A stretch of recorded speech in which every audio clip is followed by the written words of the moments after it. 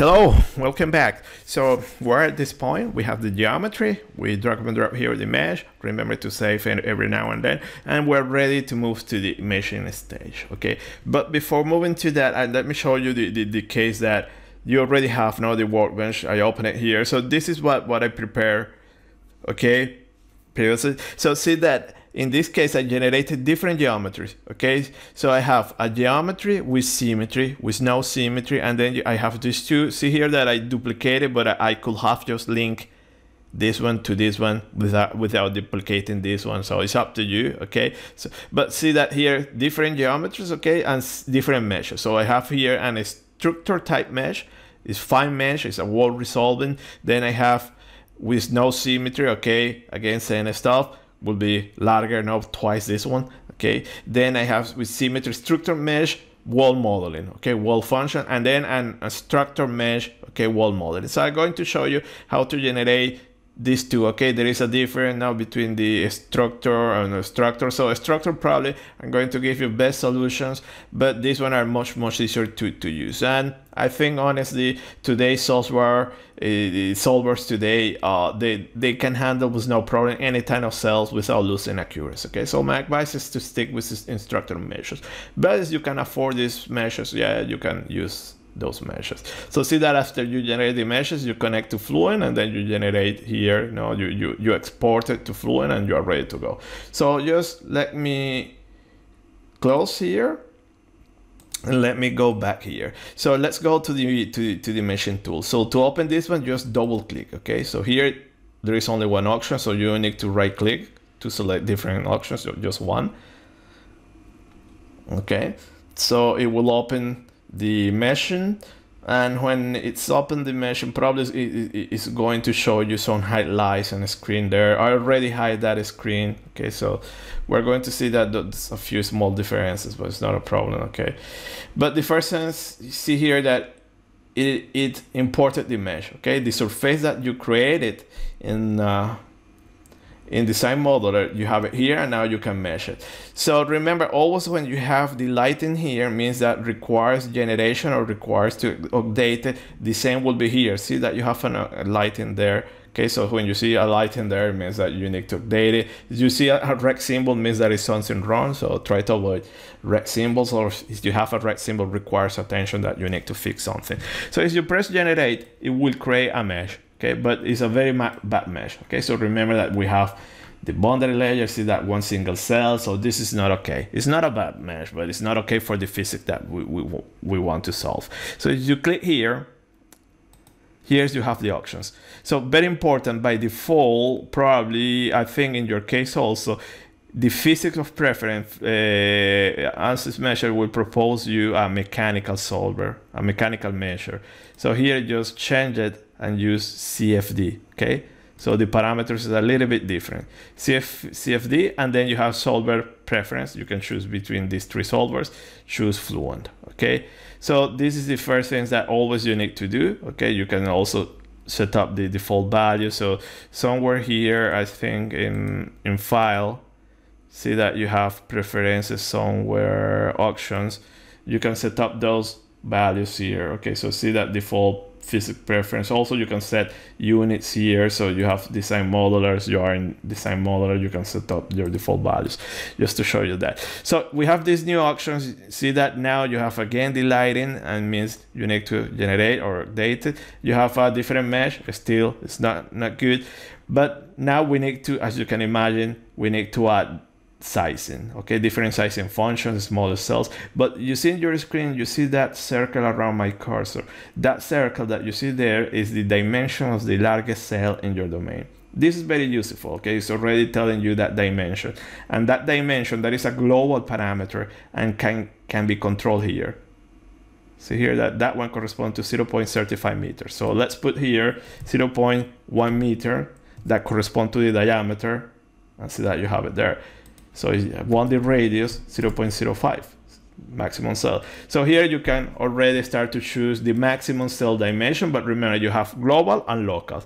So usually you put here a global parameter. Do not put something very small because that is global and will be all around the mesh. Remember later you want to add local. So I will put 0.01 meters there. It's okay.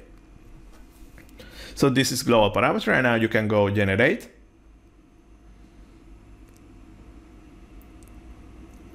See that it's slower and see that you have this. Okay, much better mesh okay? Look nicer perfect mesh.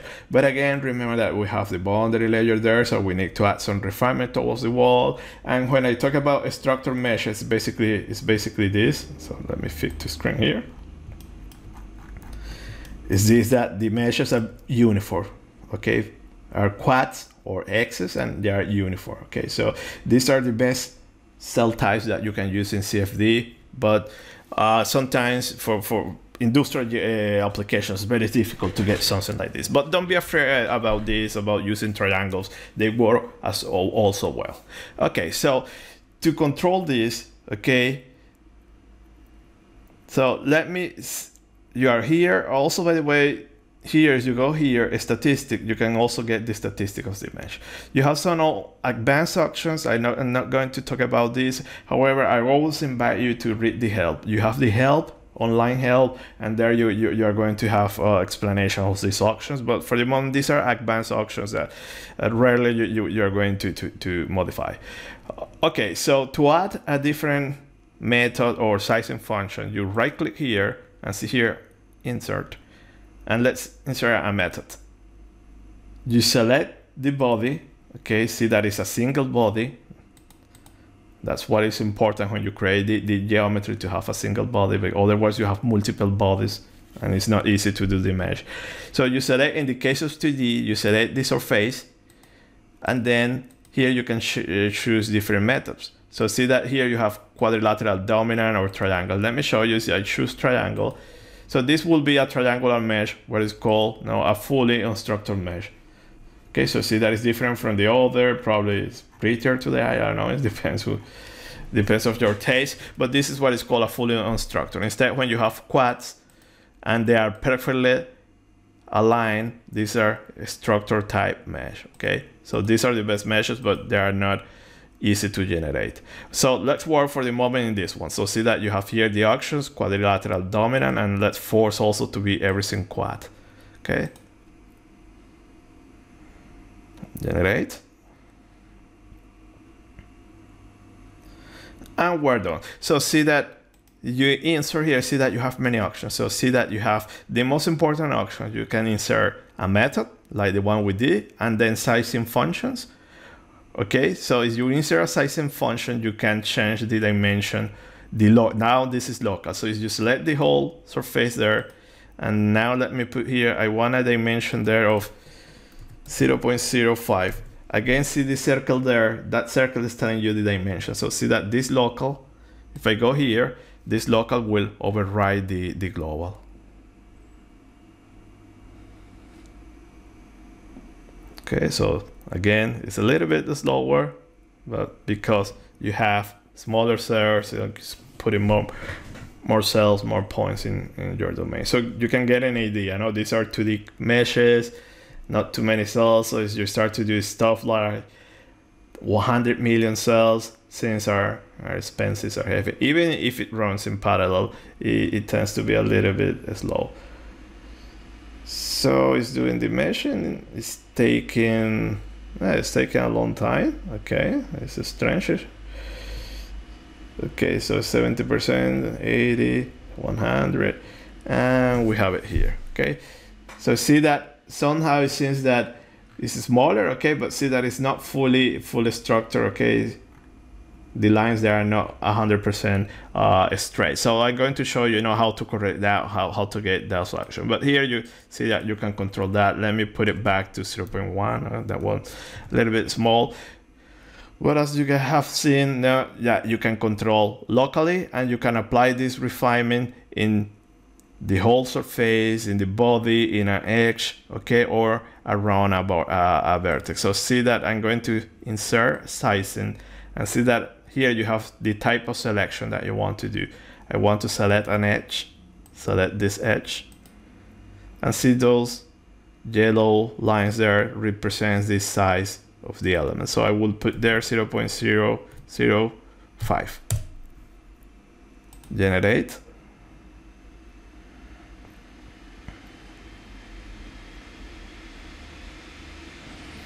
And this is what we have. You see that you are controlling now locally here, and then you have the global value. So this is now, this is fully a, a, a, on structure mesh. A structure mesh will, what it will do is that you define a dimension here and everything will be propagated in the whole domain. Okay, but you need to, for, to force that kind of mesh, okay? So let me suppress you here. You see here, suppress. I don't want to use that option. So again, is you generate, it will generate just using this edge size and the global sizing parameters. Okay, but if I want to propagate this size in the whole domain, there is another option. So I go here, insert, see that you have face meshing. Select the whole domain, apply. Here you see you force the type of element, so you want quadrilaterals, generate, and see that now you have it here. Okay, so this is what is known as a structure mesh, okay? So you have it, you have that propagation, okay? So now let's do, see that also you, you can change the sizing in these two edges. So let's add another sizing. Okay, select this and these edges, okay? Because they are the same, so you can select with control two edges and give a dimension. Okay, so you can give an element size or the number of divi uh, division. So I would say that I have 500. No, let me see that I have 800. Now let me see that I have a thousand elements there. If you do a thousand elements like this in, in 3D, it's a lot of cells. You will see that very fast it will go to something about 5 million cells. Okay, so I see that a thousand cells in the whole domain. Okay, and generate. and we have this okay we have our our division in the whole mesh okay? So now that we're happy with this let's do also something that remember that we we want to resolve the boundary layer in the top wall here. This will be the symmetry axis. So we need to cluster more cells here. So how do we do that? Again we can do like okay we have here already this edge size. We can increase this one. Let me increase to 0 0.1 generate okay see that now it is smaller and now what, what I can do is just to control the stretching to stretch more cells here but see that also the dimension the this dimension in X is not not it's not being kept constant. So there is something that when you're doing these kinds of measures, I recommend you that here, when you put the edge sizing behavior, force that behavior, not put it hard there.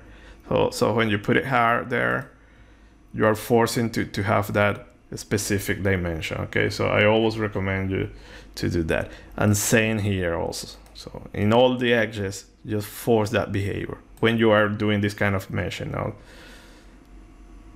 See that now we have this, perfect, beautiful.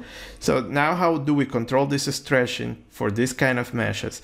So see that here you have an option called bias. So now let's control the bias. So I want to bias, you have different options there. And let me add a bias, a bias factor of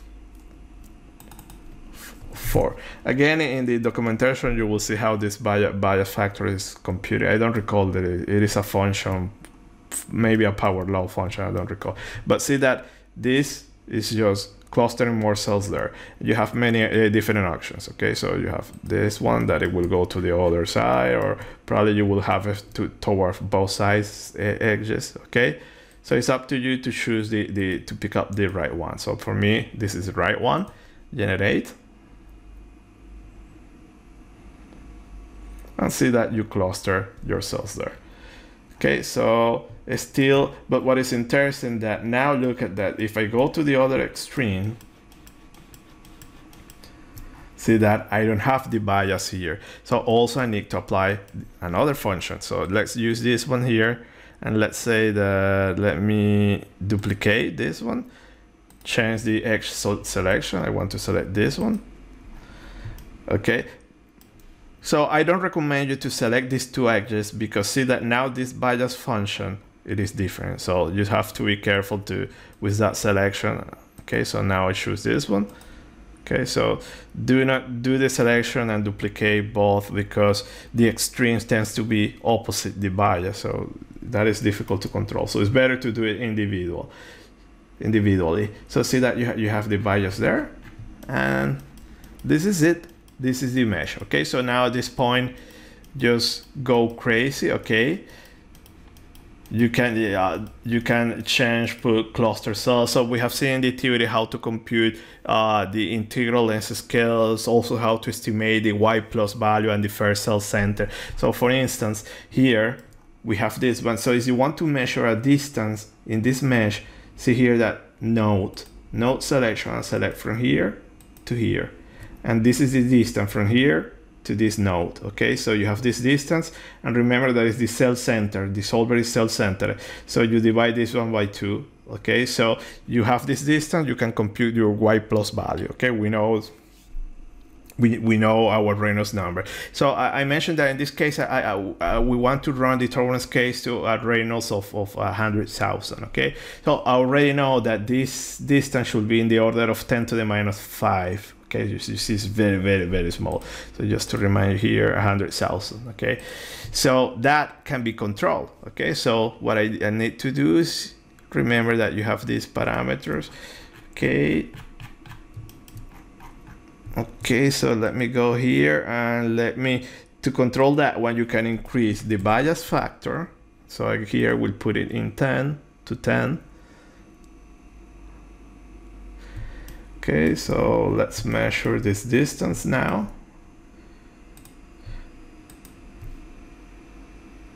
Mm -mm -mm. So we need to increase also the number. So let me go here, 0 0.5, generate.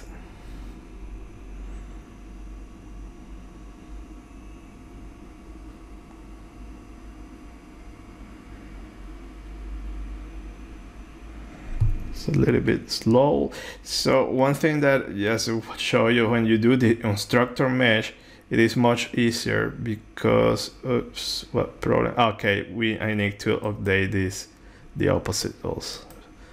So remember that they are linked. So see that you, you get this symbol is telling you that you have a match between the edges so the face meshing is not working fine so you need to have the same number of cells or same space in both but in all extremes not in order to do these these meshes.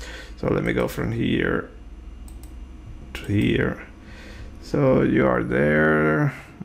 Mm, so let me increase a little bit more this one to 20 okay so that one should have that value. So let's see what we have now Okay, so now that, that one should be about that value that we're looking.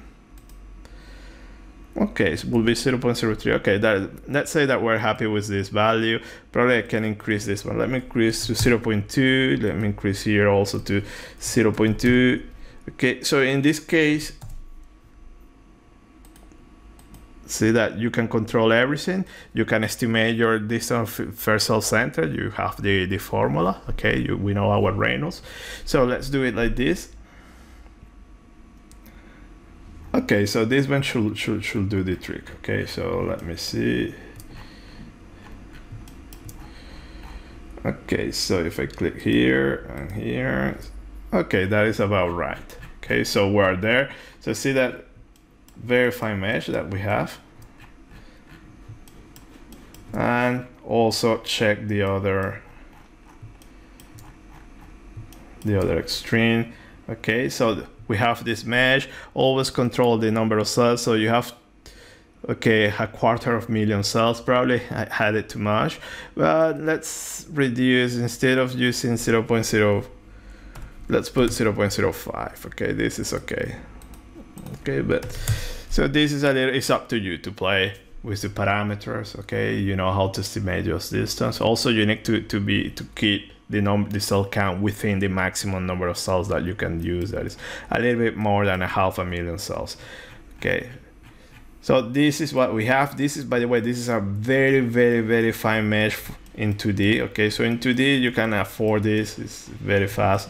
Okay, so now we're ready to run. So let's check again 100,000 cells. But before running, remember that we need to define boundary conditions. Okay, to define boundary conditions, okay, you need to select edges, assign names, and we haven't done that so far. So to do that, in this case that is 2D, we can select edge, edge. Let me select this one. You select that one, right click and see here, create name selections and give it a name. Inlet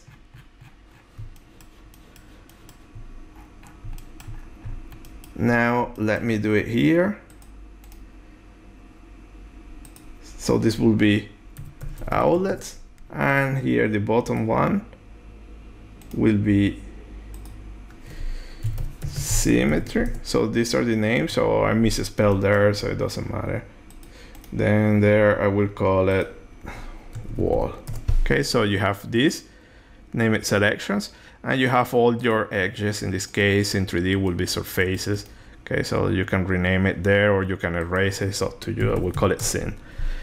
Okay, so now we have the whole definition. By the way, if you forget to, to or if you don't you don't select an edge or surface, Fluent will put it automatically in a default group. Okay, will be by default will be a wall. Okay, so in theory here we don't need to select this wall because Fluent will will put it.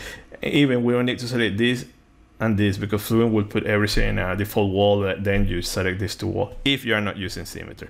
But you need to select this uh, inlet and outlet to assign there. So this is it. This is the mesh. So again, you go here. Now you close, it will save the, the mesh. So you go back here.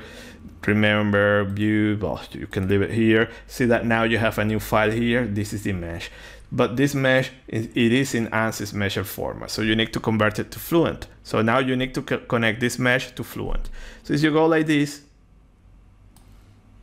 and see that now you have the light in there meaning that you need to update this. Right click update. So this update is simply converting this mesh into fluent format. See here that you have the location. So remember that whatever you put these files in my case i'm working in the desktop you enter here and you will see all the files okay?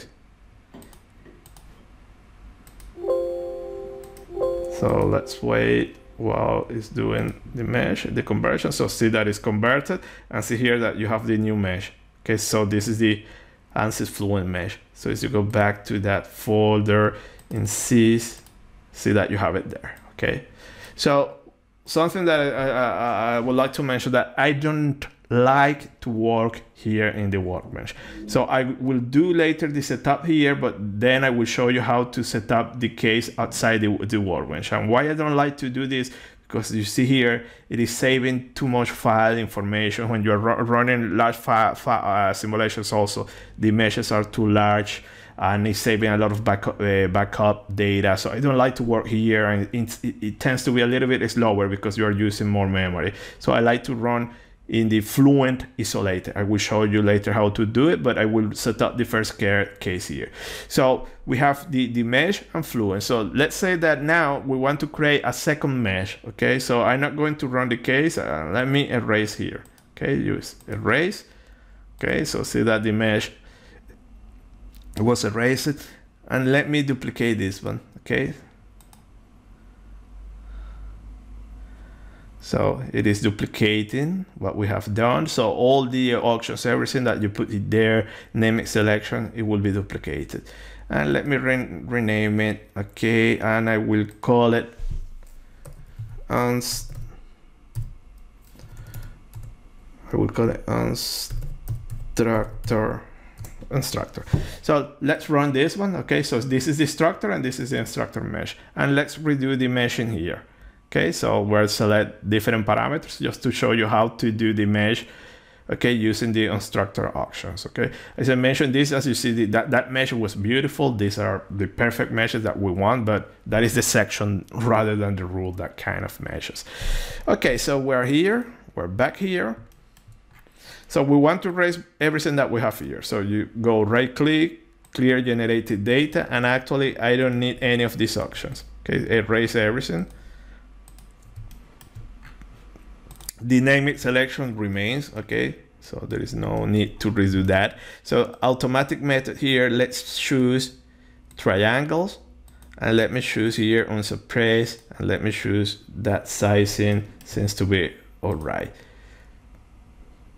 So see, as, as we don't put that option, the face, the face meshing option, okay, this one, the face meshing is not doing any, it's not forcing to have this instructor mesh. So we can have this nice triangular mesh. Again, the idea is the same, okay? So you can increase, okay, you can add sizing functions here, here, but here, when you add a sizing function, does not propagate in the whole domain, okay? So for instance, just to show you, if I put a sizing here, okay, so let me insert a sizing there, and let me put 0.01 there.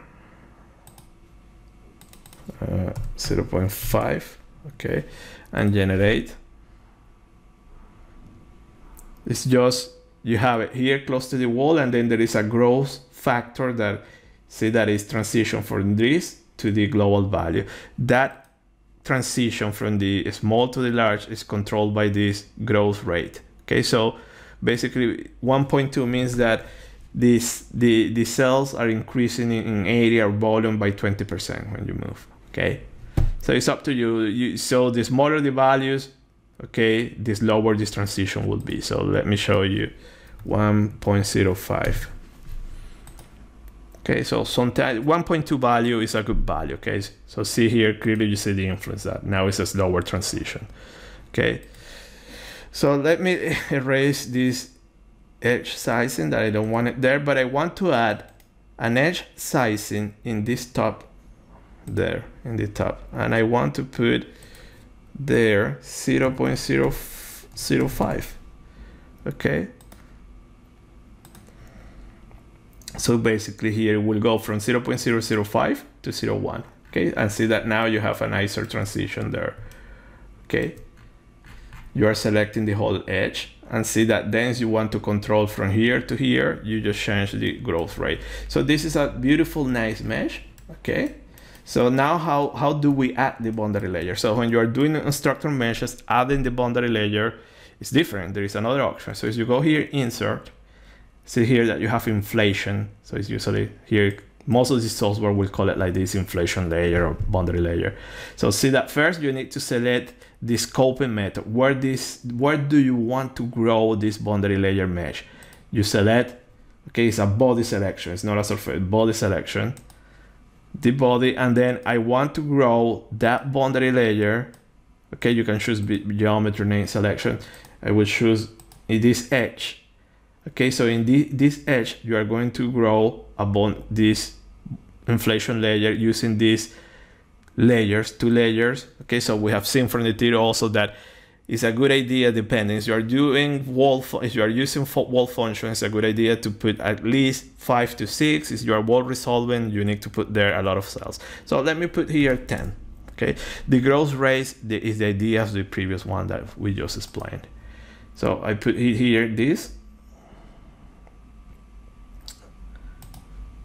Okay and inflation layer okay selection. Okay i didn't select everything anything so see that now you have the selection one edge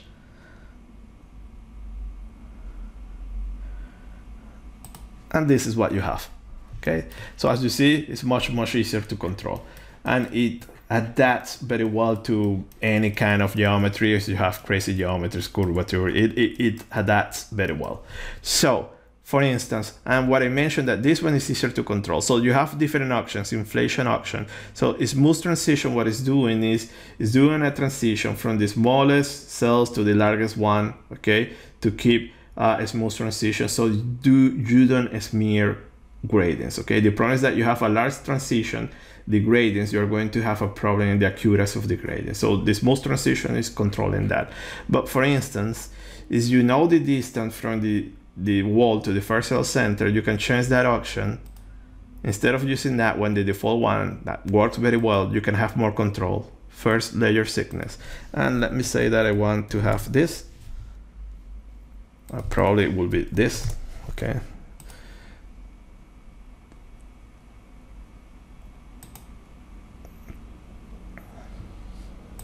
And see that you have it there. Your boundary layer. So you can go here and measure, and it's from here. Okay, sorry, it's here that you need to select from here to here. Okay, see that when you give the distance in here, you're giving the distance of the edge, then the cell center will be half that. Okay, so you have the distance, but see when I mentioned the, the growth rate and the transition that this is really bad. See that from very small cells you go to large cells and here you're going to have problems computing the gradients. So what you can do is that have smaller triangles here, okay? Or you can add more layers that probably here will be easier to control adding more layers, okay? But it's up to you, but usually you add there. So this is the, the price that you pay. We have seen when you when you want to resolve the boundary layer. You need to add a lot of layers also to control that transition between the inflation layer and the external cells. And see that much better, okay? But still we can do better, okay? So let me go here and let me put 30.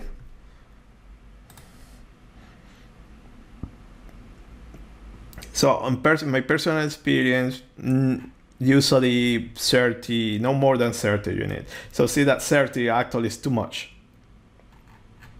Okay, this is not very nice.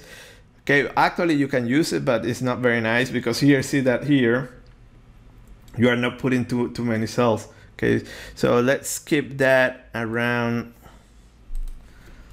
24. Okay, then also you can play with the growth rate. Okay, I could have changed the growth rate instead of reducing. So let's see that. Okay, so see that this one is okay. Okay, so let's take this mesh for granted. Okay, this is a good one, and let's run also in this mesh. Okay, so see here that this is much easier. You saw that this workflow is much easier than the uh, uh, structure one. The structure, even the structure was easy, but imagine that now that you have more complicated geometries and not even more complicated. Imagine that you have a T another pipe coming here. Just getting that pipe in a structure mesh is tricky. Instead of structure meshes, just give global local parameters, grow the boundary layer. So we're going to do something like that in tutorial three and four. So now that we're done here, uh, let me see the mesh count. This is, so see that even that we have probably we, we have better control in the boundary layer, see that we have less cells than the other. Usually also uh, structural meshes has the tendency to, to, to use more cells. But in any case, everything can be controlled. So see that now you have the two meshes and what you need to do now is to convert everything to, to Fluent or the solver that you want to do to use. If you want to use CFX, you put it there. So we want to use Fluent, put it there, update. So now you're transferring this mesh to this solution. This is a structure mesh to this solution. And now also after this is done, okay, you see that lighting always means that you need to update it. In this case, it's doing the conversion. And see here that you have more files. We put the second one. We put it here, update, and see that you have mesh one, mesh two, you have the location. okay,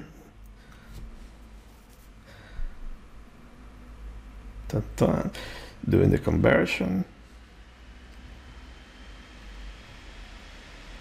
And we have it every now and then save. So now at this point, what we're going to do is just run one of these cases, okay, or both cases. So at this point, I will stop here, okay, and then we move in the next video where we're going to run this simulation. So see you next time, bye.